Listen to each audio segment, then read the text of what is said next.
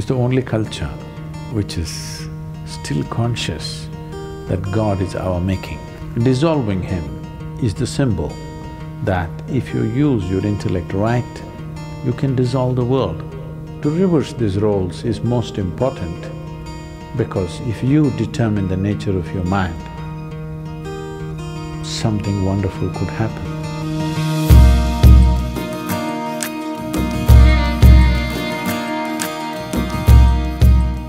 There is a festival in the months of August and September in India. It's called Ganesh Chaturthi. It is a god with an elephant face. It is… it was… it was not supposed to be an elephant, it was supposed to be a gana. Somewhere one artist made a mistake and it became an elephant. It's called Ganapati, that means the chief of ganas. So, they will make a… an image of Ganesh with clay, unburnt. And then they will paint him up nicely, some people do without paint, some people do with paint. And then they will worship him and huge festival, music festivals happening around him, big events. Some people build huge ones, 108 feet tall, big ones. But after that period is over, usually one week, fifteen days, in different places, different times, then they will go and drown it in the lake or in the ocean, so that God dissolves. Create a God create a frenzy around him, make him your entire life. For those fifteen days or one month, there's nothing else but Ganesh. We eat what he eats, we only like what he likes, everything is about him. But then, one day we'll dissolve him. Once he's dissolved, he's done. It's the only culture which is still conscious that God is our making.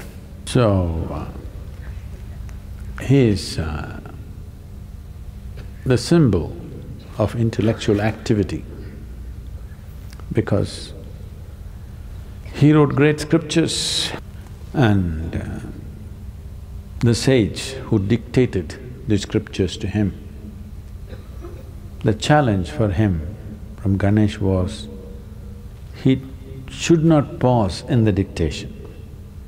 He must continuously speak and he will continuously write. He said, if you pause, I won't write further. It's a test for the sage whether what he's speaking is really a fountainhead of his being or is it something scholarly that he makes up in his head. So Ganesh said, only uninterrupted dictation, if you do, I will write. If you pause somewhere, once I keep my pen down, I will not write again. So sage Vyasa spoke uninterrupted. It went on for months on end. Ganesh wrote without missing a single word, the best stenographer you can have. He is uh, the symbol of human intellect. This is very symbolically right because this is the nature of your intellect. You can use it to consciously imagine something. Wonderful imagination, a man with an elephant head. An elephant head because that's the biggest head you can find on the planet. That means lots of brain. So, the symbol of human intellect. Dissolving him is the symbol that if you use your intellect right, you can dissolve the world. Dissolving the activity of your intellect is no problem. Once you dissolve the world with your imagination, switching off the imagination is not a big problem. You can obliterate the universe with your imagination. In your experience, universe will not exist if you create a powerful imagination. But then, switching off the imagination is a much simpler process. If the imagination is consciously developed, turning it off is easy. Right now, bits and pieces of imagination happening unconsciously, it looks like it's impossible to stop it. So the entire festival is symbolic of this, that we create him and you must see the festivity that happens around him. Usually, he's kept in public places. In every home, it'll be kept private ones. Apart from that, on the streets, big ones, many streets will be blocked for this fifteen days to thirty days, traffic stopped, everything. He will be sitting right in the middle of the street, big celebrations, music, stuff happens around it, people live around him for this period. But when the time comes, they just go dissolve him and that's about it.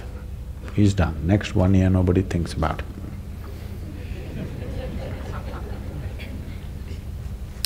If you could do this full-fledged with your imagination and your intellect, oh, this mind or this activity that we call as mind, I want you to get this clearly.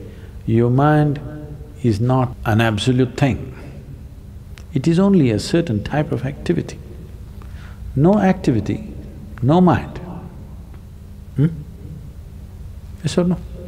Suppose you have no thought at all right now. Do you have a mind? Oh, I… I have a mind, I don't have a mind. Yes, you have, because that's a thought. If there is no thought, there is no such thing as mind because it's a certain activity. Consciousness is capable of being here without the assistance of activity. Activity does not make consciousness, consciousness makes activity. Hmm? I move the hand, the hand does not move me. It's me who moves the hand. Similarly, it's me who moves the mind. It's not the other way round, but it's become the other way round. The nature of your mind has become you, isn't it? All the freaky stuff that your mind does has become your quality, isn't it? Now, to reverse these roles is most important because if you determine the nature of your mind, something wonderful could happen. If your mind determines the nature of who you are, it is an accident. Is it a terrible accident or not? That situations decide, but it's an accident.